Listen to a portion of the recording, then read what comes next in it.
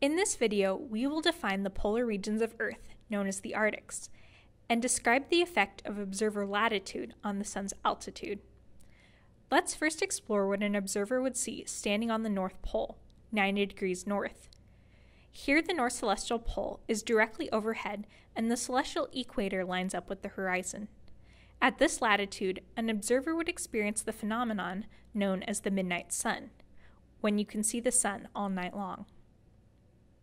From the North Pole on the day of the summer solstice, the sun never sets, but appears to move around the sky parallel to the horizon at an altitude of 23.5 degrees.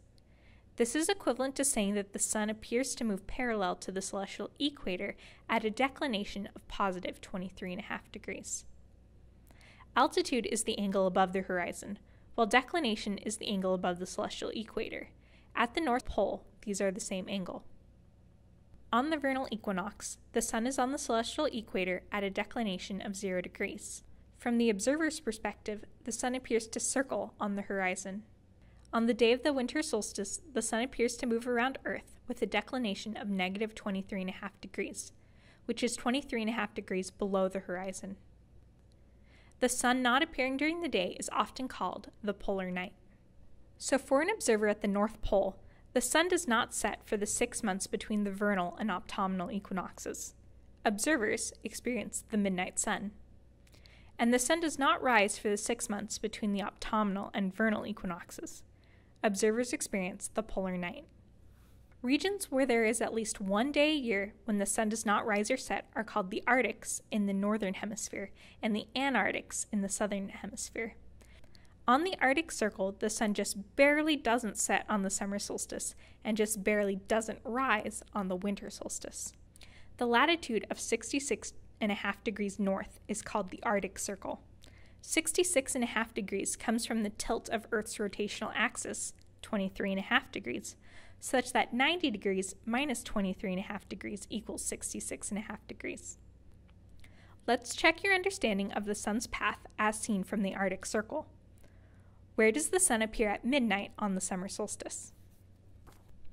Classroom students should follow normal procedures or instructor guidelines.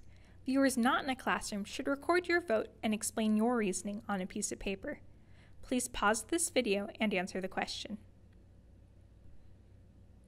Here on the day of the summer solstice, the sun just barely does not set below the horizon.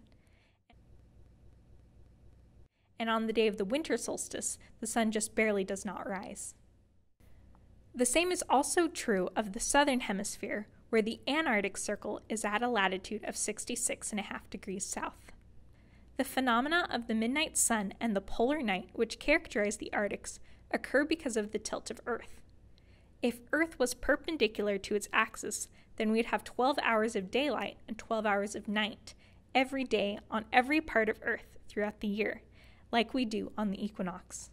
But because of the 23.5 degree tilt of Earth relative to the orbital plane of the Sun Earth system, the sun does not set for an observer on the Arctic Circle on the summer solstice, and at the North Pole, the sun does not set for six months.